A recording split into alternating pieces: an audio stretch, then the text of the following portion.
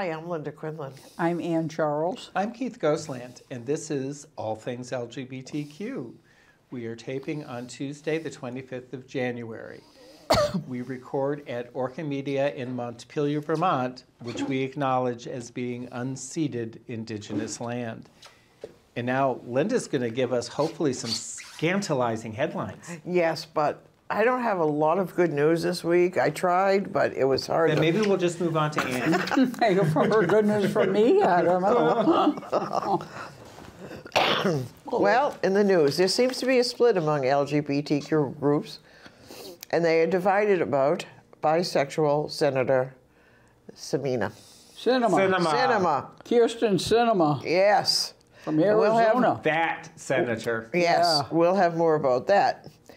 A Florida bill could block kids with LGBTQ parents from discussing family and class. A Biden administration will investigate why a Christian college won't let a gay student graduate. Clark Summit College has banned LGBTQ students for years, and, and the Biden administration is trying to do something about that. Good luck. Christian Adoption Agency uses new religious freedom to deny service to a straight Jewish couple. So we'll have more about that. Lesbian moms found dead in a gruesome double murder homicide. Murder, um, homicide. A married couple from El Paso, Texas, were found murdered, and their bodies were dismembered while they were visiting family in Ciudad Juarez. Ciudad Juarez. Yeah. And do you mind if I burst in because that's my headline too? Oh yeah, okay, because I just did it because they were Americans. And I have a picture, Okay. and uh, their names are Julisa Ramirez And Nohima, Medina. Nohimi Medling, Meding, Ma- Martinez. yeah. But if you want to finish it, then I'll pick it up. Okay. They were both 28 and got married in 2021. They left behind three children. Their bodies were found 17 miles apart in plastic bags. And they've been dismembered. Yeah, I Yeah, s- she I, said said that. that. Oh, I'm sorry. Yeah. And I have an up to the minute. Okay. A man and a woman have been arrested. oh, really? Mm-hmm. And did they say why they had done this? Well, I don't know if they did it. They've been arrested. Okay, all right. Christians attack the dating app where Pete and Jason Buttigieg met as a place of promoting sin. Chasten. Caston. Christians are angry that the app Hinge is attempting to normalize same sex relationships by including same sex couples on their commercials. So there you go with that one.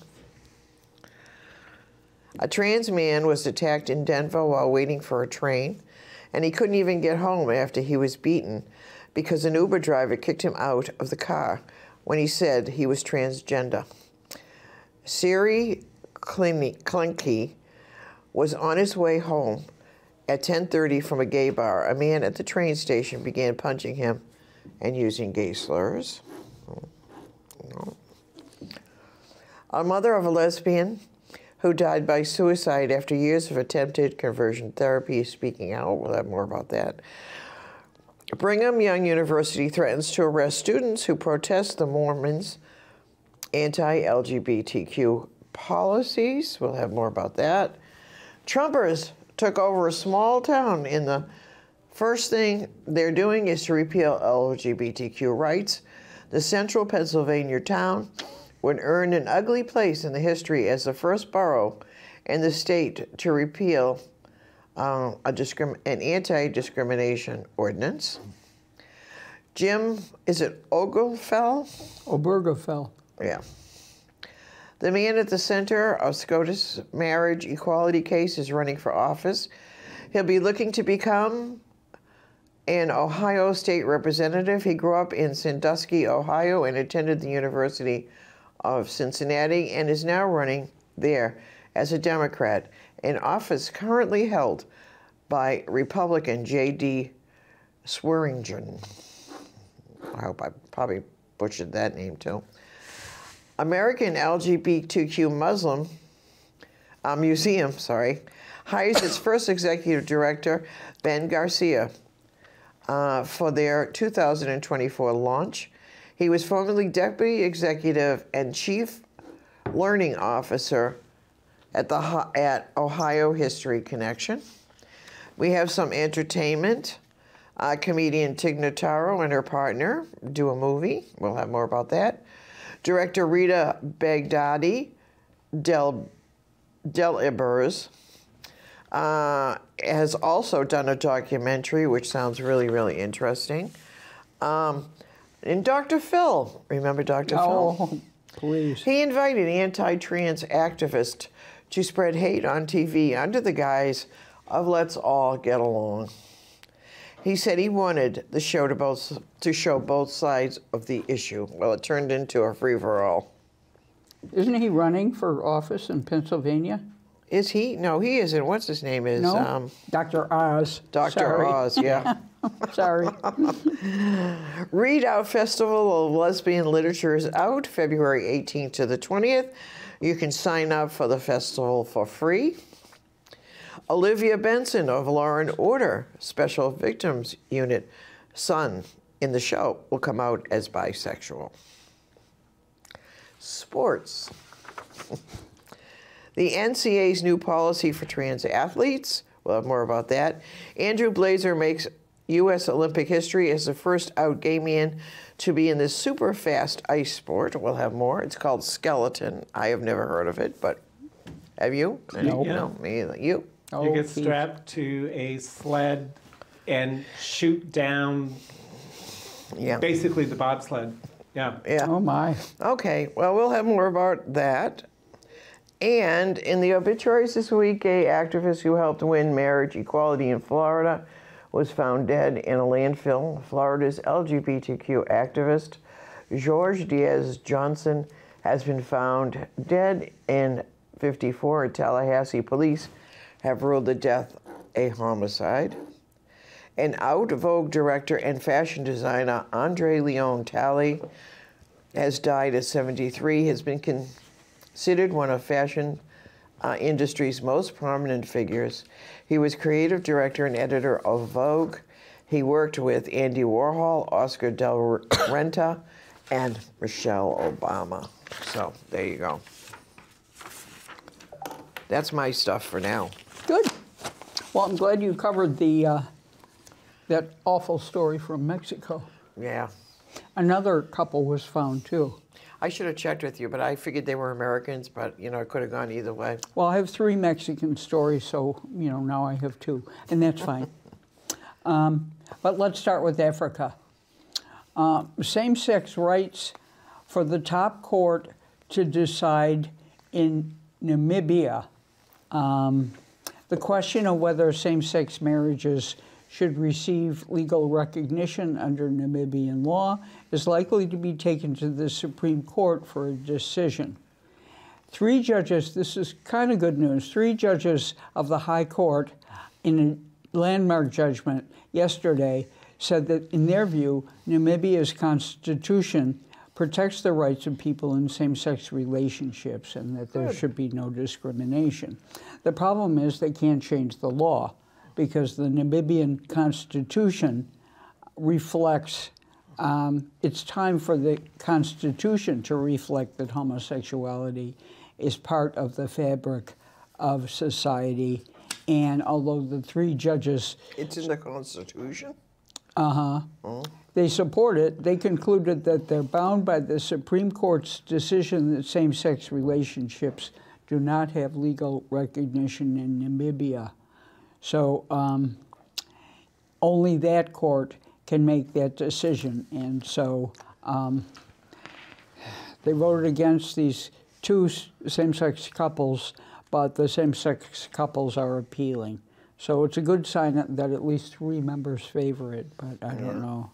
Um, in Kenya, and I have a picture before you now of protesters, people are marching in downtown Nairobi uh, during a protest organized by the Queer Republic in Nairobi, um, Nairobi, which was on January 13th, 2022. That's when this protest was, because the Education Cabinet Secretary, Professor George Magoha, sparked controversy after saying that homosexual students should be banned from boarding schools. And apparently in Kenya, boarding schools are sort of like public schools. They're the order of the day. And so, I think in Africa, a lot of a lot of places have to pay for their kids to go to school. It's like not um, compulsory the way we have it here. I think. Well, it's not state sponsored. Yeah. Right. Um, so this has caused a big uproar. Demonstrations are occurring. Um, the education secretary now has been petitioned to uh, withdraw his December remarks. Um, and the petition also asks to criminalize all phobias that say that put people's lives at risk, including the lives of homosexual students. So that's mixed news from Kenya. Um, now let's go to Asia, where uh, Samsung, to um, Singapore activists' dismay, has pulled an ad featuring a drag queen. Um, the ad shows a Muslim woman in a headscarf hugging her son, who is a drag artist. Uh, Samsung pulled the ad in Singapore. Um, social media users had criticized the ad as an attempt to push LGBT ideology, reports the BBC. It was meant to feature Samsung's new wearable products, such as noise canceling earphones, as well as a smartwatch with a heart rate monitor. I've heard those are unreliable, but what do I know? In any event, in the commercial, several people listened to messages from loved ones. One of the pairs um, includes a mother and her headscarf who listens to a message from her son, a drag artist. Dear mother, I'm reading this all to you because I want to show you the 50 second clip, but subtitles are tiny. Dear mother, not many will have such an understanding and open minded mom like you, and my heart can't thank you enough. You are just unbothered having people looking or judging you differently, having a son that does drag, the son tells his mother.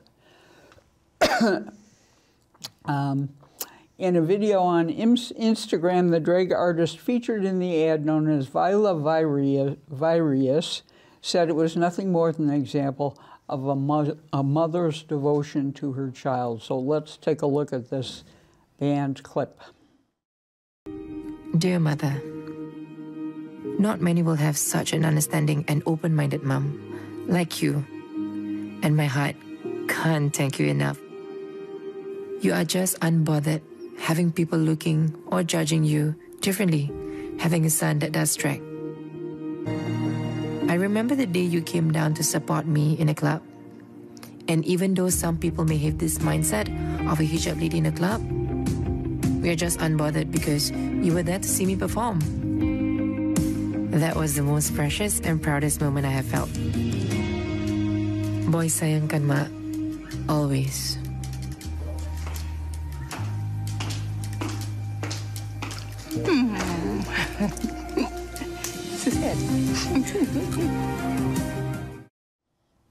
All right.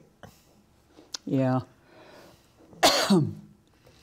More bad news from Asia. Uzbekistan sentences blogging LGBT supporter to three years. He's not going to go to prison, apparently. Um, but he was sentenced to three years of restricted freedom for slander after he publicly criticized the education system and called for same sex relations to be decriminalized. First, well, his name is Miraziz. He was charged last year after a savage beating put him, put him in the hospital for a month. Uh, police blamed him for provoking the attack because he'd made insulting, inappropriate public statements that are not in correspondence with our mentality. His attackers were never identified. Uh, when he got out of the hospital, he was put under house arrest. Um, so he did not serve the full three years because he's been in house arrest. Um, That's the real high bar for blaming the victim, isn't it? oh, it's incredible. Yeah. Uh, it's, this case has garnered significant international attention because of Uzbekistan's poor record with press freedom and also because of the state sanctioned hostility to the LGBTQ community. Um, they LGBT people face arbitrary detention, prosecution, and imprisonment, as well as homophobia, threats, and extortion. Now, So- are you halfway through your stories, do you think? well, um, let me just do one more Asian Okay. story then, if I may. It involves a film script on a gay soldier in the Indian Army that is has been rejected by the Defense Ministry. It's based. Uh, it's a, based on a 2010, It is a 2010 film called I Am. Um, based on an interview with a gay major who quit the service and was very respectful of the army. This is in India. I said that, I think. And not, it's not some salacious story, the filmmaker said, but it got rejected because it shows a homosexual soldier. Um, the problem here is that it was rejected before, before same-sex marriage was legalized in 20, when it came out in 2010. But now the Supreme Court has decriminalized same-sex relations, and the story is um, also is inspired by something that's in the public domain. Um, the um, any movie or TV web show showing content relating to the Defense Forces is required to get clearance from the Ministry of Defense, failing which it won't be certified. So on December 16th, the filmmaker applied with his script, which treats everything with a lot of dignity and respect. He has a lot of love and respect for the Indian Army. The day before yesterday, when he got the email, he was told that the content had been examined and analyzed and rejected. And, you know, he could sue, but he said, I'm a filmmaker. I'm not in the business of bringing suit and engaging in litigation. So we'll see what happens. Maybe you He- can put it someplace else. Yeah, and I, you know, you can get it uh, on Netflix, I think. Certainly, oh no, you can get it on YouTube. It's a, an hour and 47 minutes. Okay. So She's timed it. Yeah. I did. So, trivia. Considered one of the 20 best comedians of the 20th century. Had the world of comedy been less segregated, Loretta Aiken would have been even more of a household name. Nonetheless, she came out of the world of vaudeville and had a wild success at the Apollo Theater and the rest of the Chitlin circuit before eventually breaking into television. So, who's Loretta Aiken? And Linda got it. Right. Events, Rainbow Umbrella, you've got a book discussion and a women's discussion group. Yes. All of the details are on Rainbow Umbrella Facebook page. In the women's discussion group, you've been having some lively conversations at late. Oh, you know So- it. Always. So, the Vermont Humanities Council, they do a first Wednesday series. February 2nd is going to be Walt Whitman, American poet. February 2nd, 7 p.m. This is free, but you do have to register. Their little narrative is Walt Whitman was a great poetic innovator, the poet who best sums up what it means to be an American, and his Song of Myself is the most majestic poem written in our nation. And yet, for all this, UVM Professor Emeritus Huck Gutman finds Whitman to be wonderfully approachable. Oh, Okay, yeah. that's not what any of those pictures look like, so I'm going to be waiting for it. so, employment opportunities. Who knew that we were jobs in Vermont? Outright Vermont has two positions. One GSA network coordinator. This is a full time position with benefits. And looking online, it's a competitive salary. And the other is education and leadership coordinator. This is also a full time position with benefits. There's no application deadline. They are going go, to they're going to leave the, these positions open until they get filled. and talking with Dana, the executive director, they said that they're getting good candidates, and Good. they wanted to leave it open because they know their ideal candidate is out there waiting for them. So, Pride Center of Vermont also has two positions open. One is Safe Space Rural Advocacy Coordinator. This is full-time position with benefits. However, they want the application by February 11th. Health and Wellness Program Coordinator. This is also a full-time position with benefits. The application is by February 4th, and you can get all of the details in the online application at either the Outright or Pride Center of Vermont website Facebook page. You know, every time you say for, with benefits, I think, You go to the bad place. You go to Grindr. we have interesting conversations over Sunday breakfast. Pride Center also announced the promotion of Kel Arbor as their new director of health and wellness. And Kel has agreed for an interview for our next interview show. And their brief blurb is that Kel has already been working with them part time and that this was just the right fit of somebody who really wanted to do prevention versus you know case management after the fact kind of and that they were excited and Kel's move from Vermont Cares to the Pride Center was with everyone's agreement and that this was the right move. So we will talk with Kel more about okay? what made this the position for them. So, on Front Porch Forum, people may have noticed, you know, some conversations back and forth about pride flags turning up missing, and there seemed to have been a series of incidents several months ago, and then a repeat. And I reached out to the Montpelier Police Department and said, "Okay, what can you share with us? Because I had not seen anything in the mainstream press. Oh, I'm so surprised. And I had not seen the police posting anything on Front Porch Forum themselves, the same as they had done with some other incidents. And what they said is, you know, they've taken all the information. If if people have not reported similar incidents, please do that you know they can only get a real sense of exactly what is happening if people let them know when something really does occur. And this was part of the comment back from the chief of police.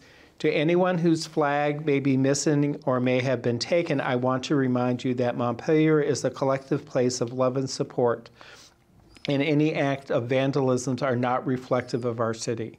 Montpelier Police Department takes such acts seriously because we understand the history of where such animosity or ill intent to take a symbol of national pride would come from, and unfortunately, where it sometimes leads to. So, there, if you have information, please share it with them. And I saw a post, I believe it was the beginning of this week, that the last flag that got stolen, the person said, Thank you to whoever left the two flags for us to replace what had been taken. So that supports that we are a community that cares about our neighbors. So there may have been some interest by some national groups about a particular Vermont race, maybe like Becca Balint for U.S. Congress.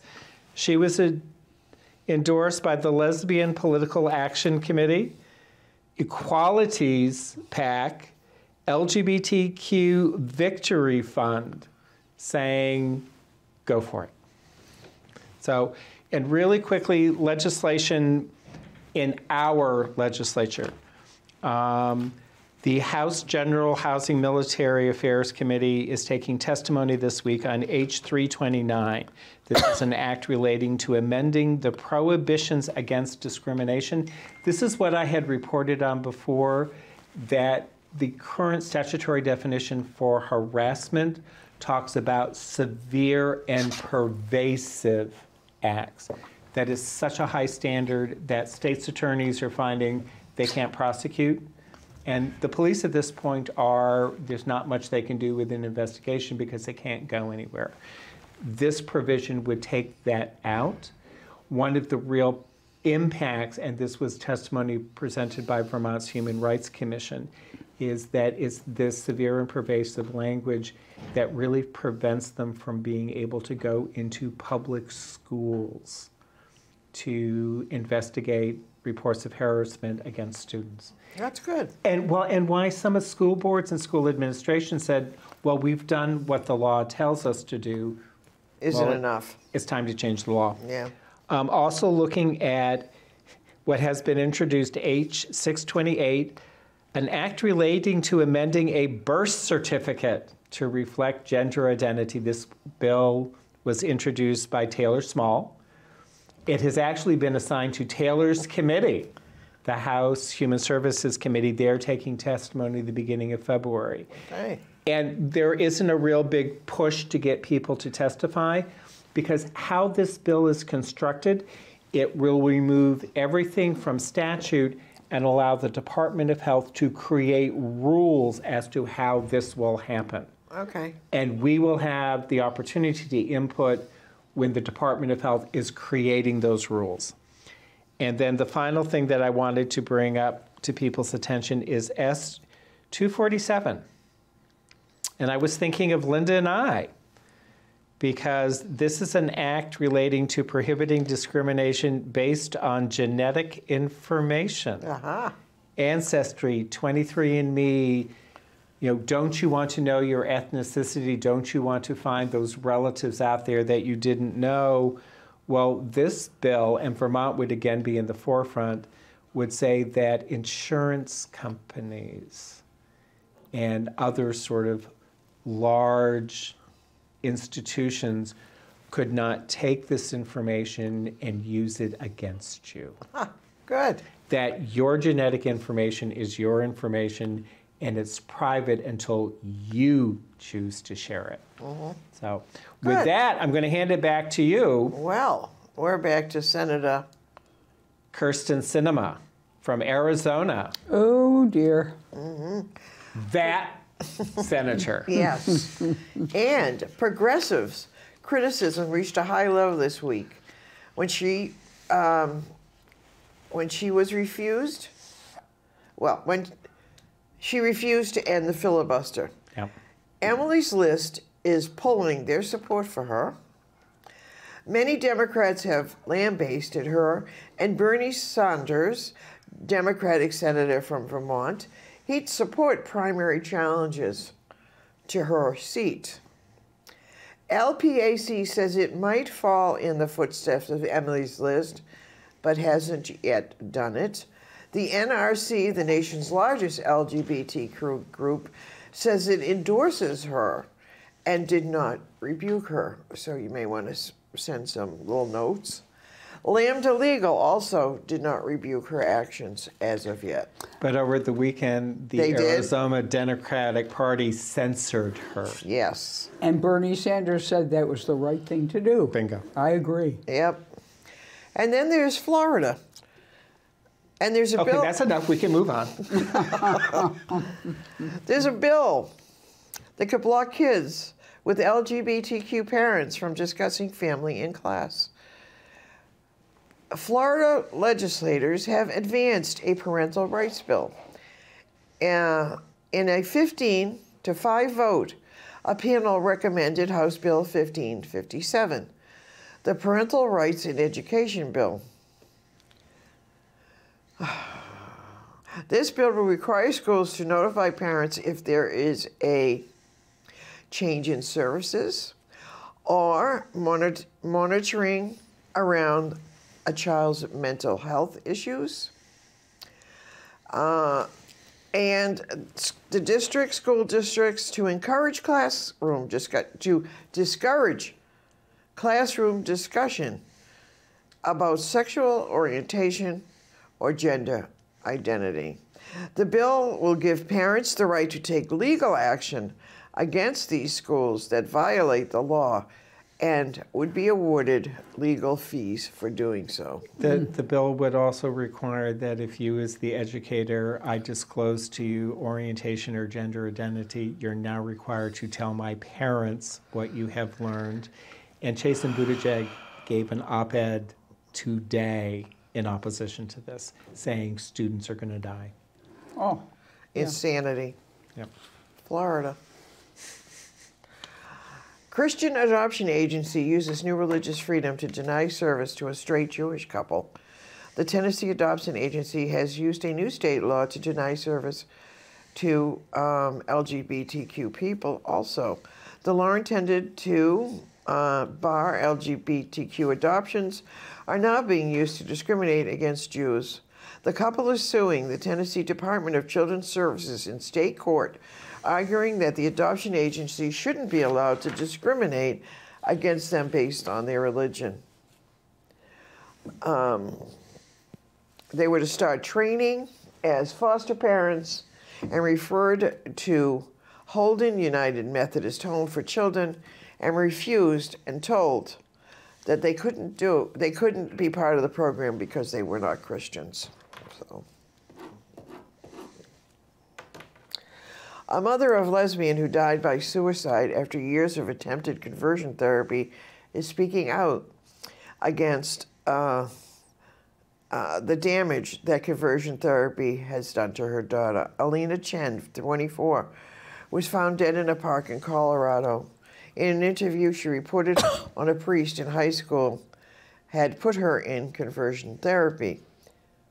Her mother, Joyce Calvo, said that David Nix, the priest, denies meeting with her daughter in private, but her daughter's diary says otherwise. So, um, let's see. Oh, some interesting news in entertainment. Comedian Tig Notaro and partner Stephanie Allynne make their feature uh, direction debut with the Sundance Festival. Dakota Johnson was looking for a break from her darker roles, but was um, hard pressed to find one until she found this one. Johnson portrays the fictional version of screenwriter Para Anta, while actor Sonoya Mizuno take on the role of Pomerantz's best friend, based on Gloria Sanchez's production founder, Jessica Elbaum, who was also a producer on this film. I know it's all very confusing. and what's the name of the film? Uh, the name of the film is it, Am I Okay? Okay. Oh, okay. Sundance. Okay. Sundance, yes, yes, yes. Um, director Rita Baghdadi delivers courage, compassion, and a compelling argument for a new trash metal way of life. This is a documentary set against the backdrop of a life in the um, in the backdrop of a country on the brink of collapse, Lebanon. The documentary Sirens explore the question through a 23 year old through two 23 year old musicians, Mayasa, who wrestles with friendship, sexuality, and destruction as a leader of the Middle East's first all female trash metal band, Slave to Sirens, a Beirut, Lebanon based group pursuing dreams of rock star fame. And here's a picture of them doing their. What trash? I don't know. What uh, What's the name of the documentary? Sirens. Sirens. Sirens. Yeah. Yeah. I said- Trash metal. Is, trash is- metal. What is trash metal? I don't know. You know, metal rock. Yeah, It's an extension off that. it's an extension of the it. same as you know, punk is an extension off. you Yeah. know, I- yeah. Yeah. Okay. I just never heard, I heard punk rock, but I've never heard of trash rock. So anyway, in sports, Because we're old. I'm out of my element entirely. The NCAA's new policy for trans athletes lacks clarity and could be difficult to enforce. The NCAA, under pressure from critics, say that it is unfair for Lia Thomas, a trans swimmer at University of Pennsylvania who broke multiple records at a meet last month on a women's swim team. Still, the new policy won't affect Thomas's ability to compete, but the Board of Governors voted in support of a sport by sport approach to trans athletes. This, they say, balances fairness, inclusion, and safety for all who compete, but it does pose a problem if you're doing it um, from one sport to another or from one meet to another. Then, you know, one person could be in, another person can be out. So they really need more clarity about that. And Andrew Blaser makes U.S. Olympic history as the first out gay man to be a super fast ice sport of skeleton. But he's already asserted himself as one of the top skeleton racers in the United States. The ga- gay athlete is aiming for a Team USA spot uh, in 2022 Winter Olympic Games. And here's his picture with his outfit on. Spandex. Yes, and he looks very cute. I, I still haven't seen a listing or even a, a count of how many out LGBTQ plus athletes they believe will be in this year's Winter Olympics. yeah, no, I haven't either. Yeah, I, I'm not covering a story about a snowboarder uh-huh. who is, you know, but I just have too many things No to more cover. snowboarders? Well, she, she's gonna. I hope she, you know, enters and wins. And as I recall, Anne wasn't that big a fan of the Olympics the last time. around, but- I'm not Okay. either, but you know. Go for it, Anne. Okay, because I have uh, many, many headlines. I'm going to have to zip through them because there are a couple I'd like to pause on. But let's go to North America, where transgender Mexicans have re- will be able to receive amended birth certificates at the country's consulates. So show your old birth certificate, get a new one. Uh, this has been decreed by the Mexico's Foreign Affairs Ministry on Wednesday. Um, other North American news is, um, you know, there's this problem with anti-LGBT homophobic chants, and um, they people fans of sports events who um, can be apprehended for um, chanting homophobic things. Uh, this is particularly involving soccer. Soccer fans will be given five-year bans from stadiums if they are found to have made homophobic chants. Who's going to do that? I don't know the F, What, who's going to know? I mean, are they going to? No, no, no. Is it the. the Football Federation. Okay. Okay. Mexican Football Federation Okay. is going to do it, and they have trying to, been trying to do things. They had fines, but now they're going to have this five-year ban. Um, we'll see how that goes. How are they going to catch him though in a huge stadium? I mean, you know. Cam- they have cameras They can focus in. And I believe, so, I'm, as I interrupt, Anne, I believe some of them actually hold up signs. Uh-huh, So, I yeah. wouldn't be surprised.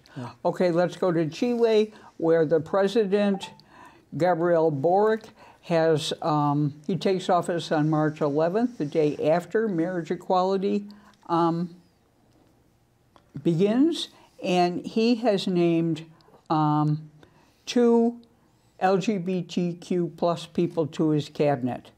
Marco Antonio Avila, who's gay, he'll be the country's education minister, and Alexandra Benado, a lesbian, will be Chile's sports minister. That's great. That's very That's good. good news. So that's it from South America for today. Australia, I have a you know follow up to a very sad story. Uh, I have a picture before you of Scott Johnson, a young man who uh, in 1988 was pushed off a cliff in Sydney. Um, uh, Scott White has been charged in 2020 for murdering the 27 year old Los Angeles born Scott Johnson. You may recall um, the, the uh, Australian authorities denied it and turned down two inquests, but uh, his brother persevered, offered uh, reward, and um, the reward yielded this uh, Steve Johnson. Did no, I'm sorry. Steve Johnson's the brother's name. I always screw this up. Um, the the the bounty yielded Mr. White, who was arrested at his Sydney home.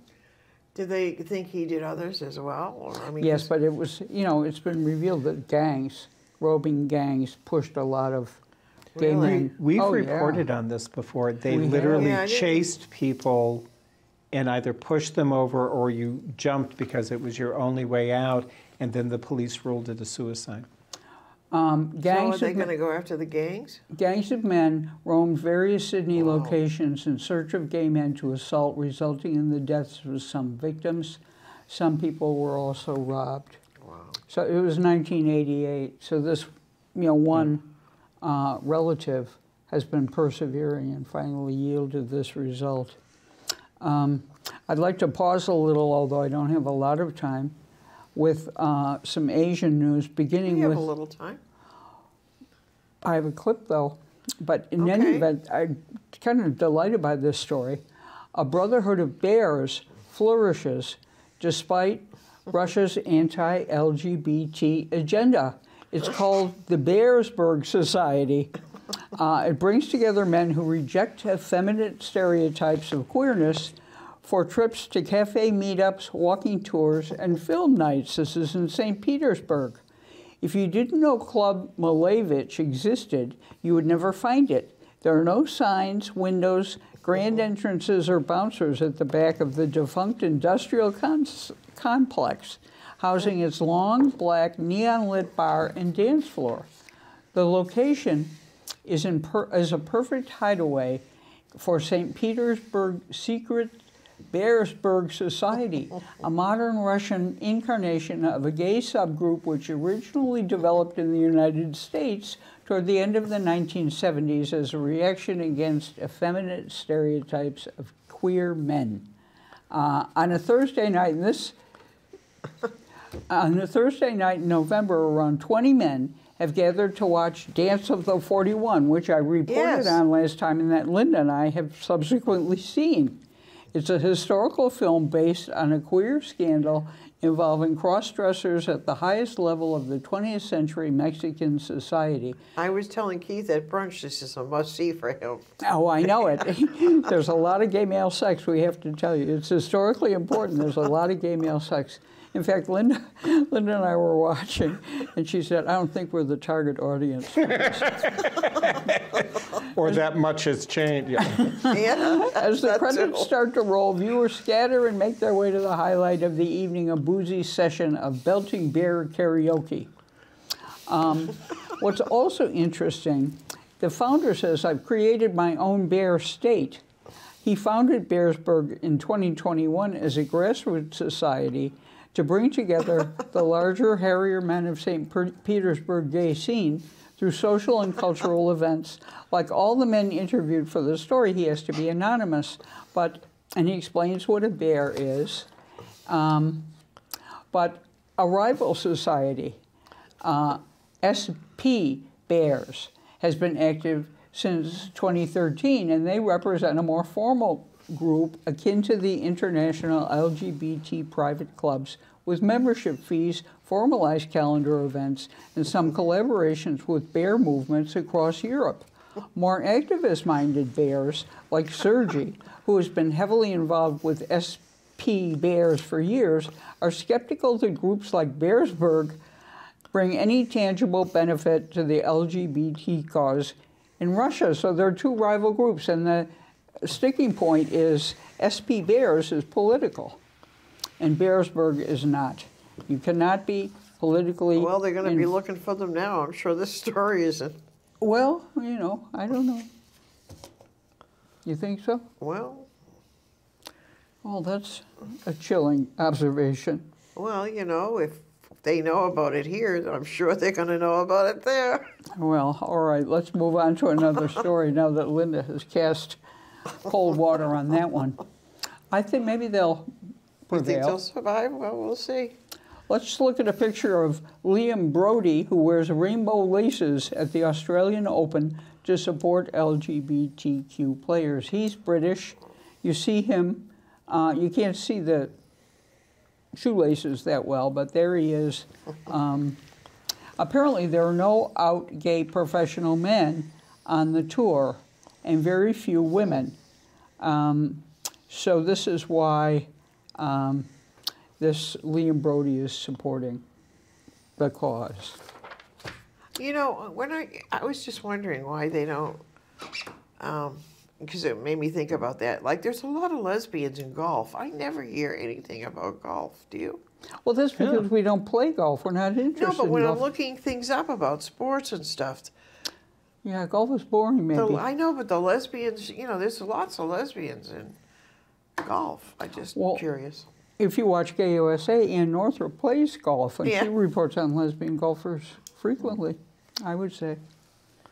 Um, let's turn to a picture of Monroe Bergdorf, who is the first transgender model to be featured on the cover of Cosmo UK's 50th anniversary issue. Um, other firsts for Cosmopolitan UK have occurred. In 2020, in January 2020, Jonathan Van Ness covered the publication and made history as the first non female person to front the glossy, as well as the first known non binary person. Then RuPaul followed them, covering the publication in January 2021. Internationally, Laverne Cox covered Cosmopolitan South Africa's February 2018 uh, issue, but here's Monroe Bergdorf. What does Cosmo have magazines all over the? Oh, sure, it's international. The same as Vogue. Let's go to Hungary. They've set a date for this miserable referendum they're having on contro- the controversial LGBT law. It's going to be April 3rd.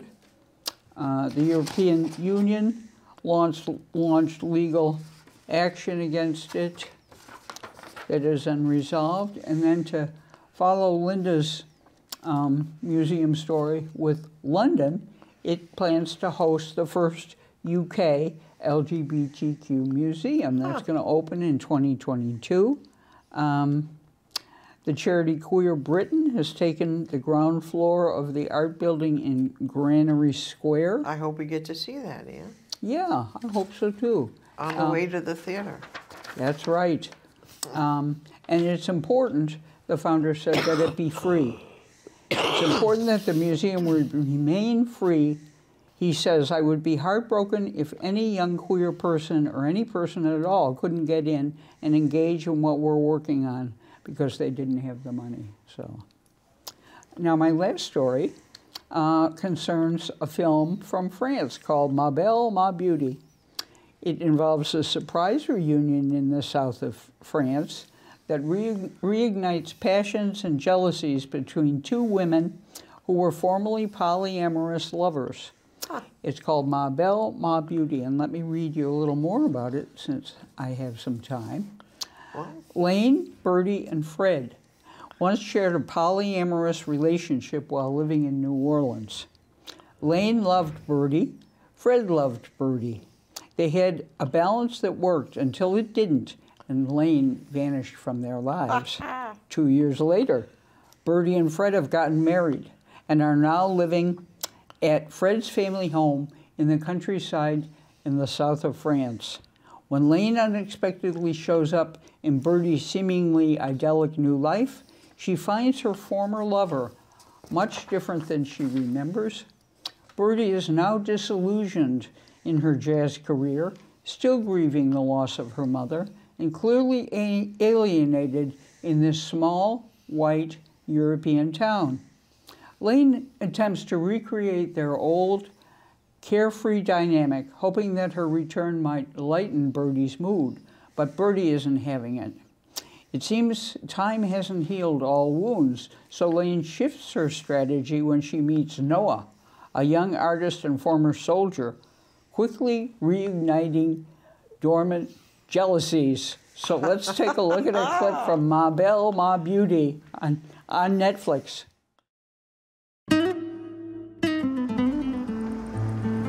What if she doesn't want to see me? She loves surprises. And she hates surprises. Bonjour, madame.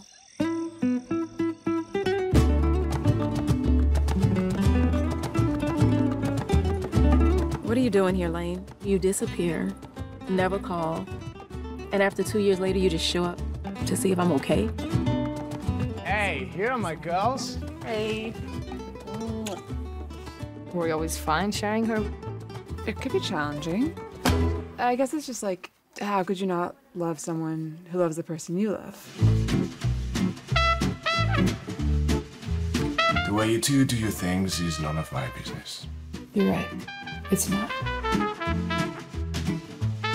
Hey, Noah. Bertie, how are How are you? Mwah. Damn. I know.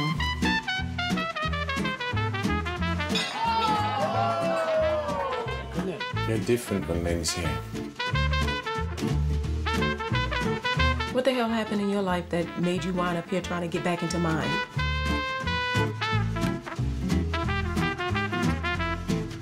There's two of us here who care about you, who love you, who are willing to catch you if you would just let us.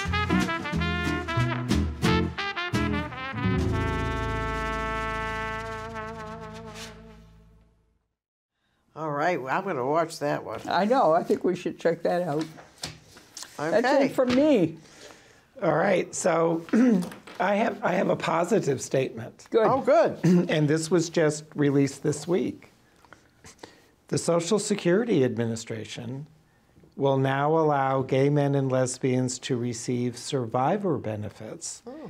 if they can show that they were in a committed relationship and would have been married had that been possible.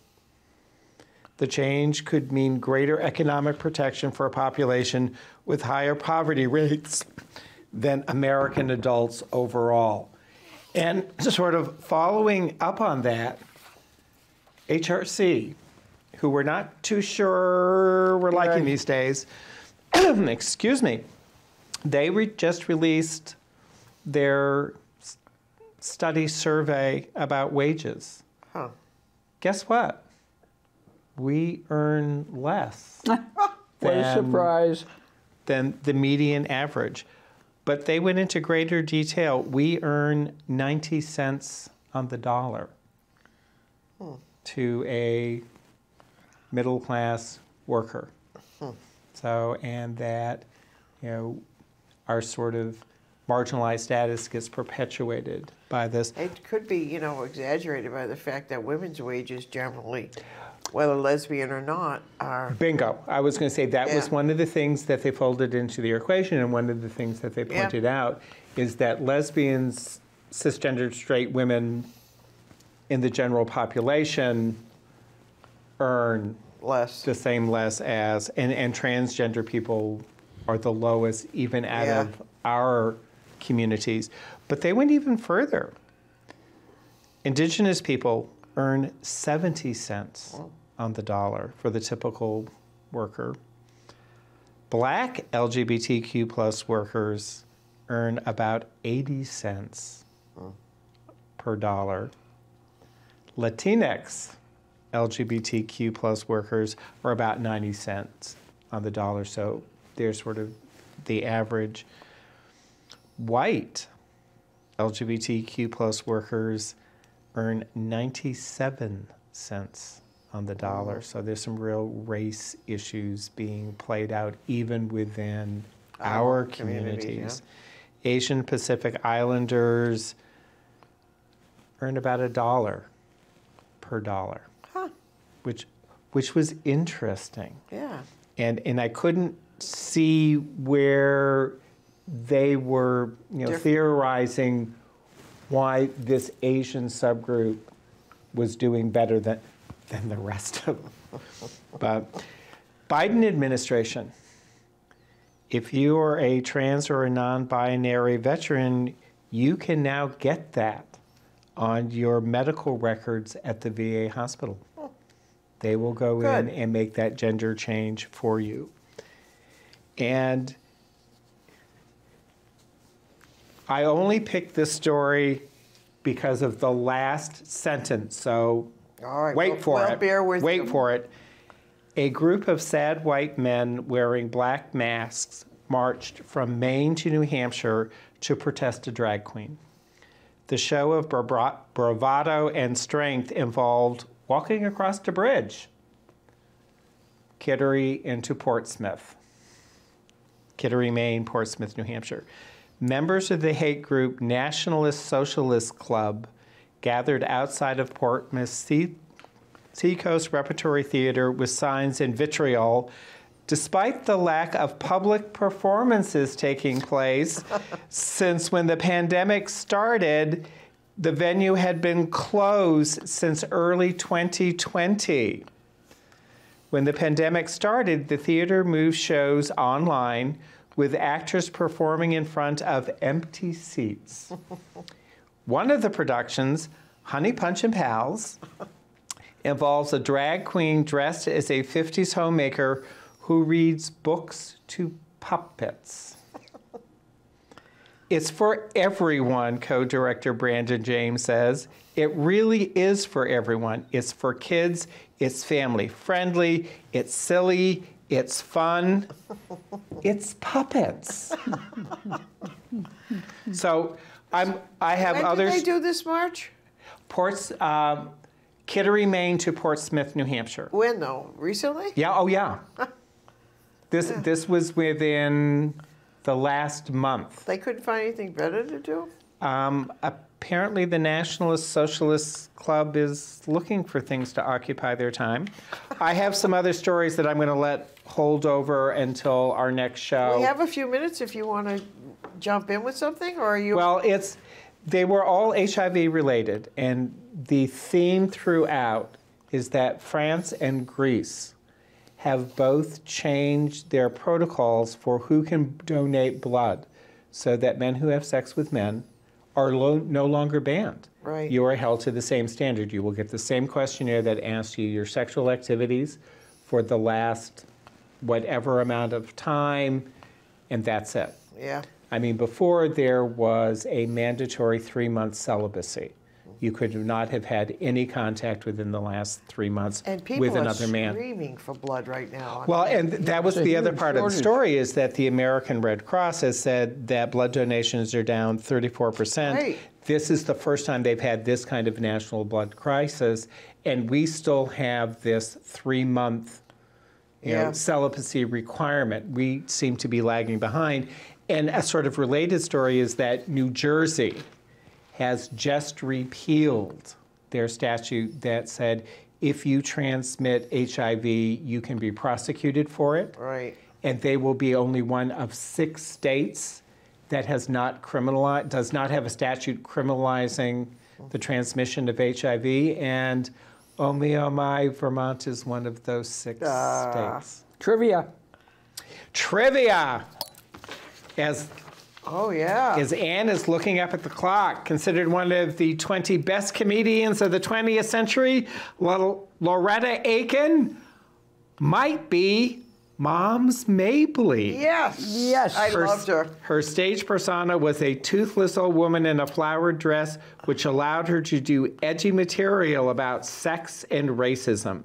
Mabley was one of the first openly gay comedians coming out as lesbian in the 1920s. So, Good for her. So here's to Moms, Mabley, and the Bears of St. Petersburg. May they prevail. And may we Resist.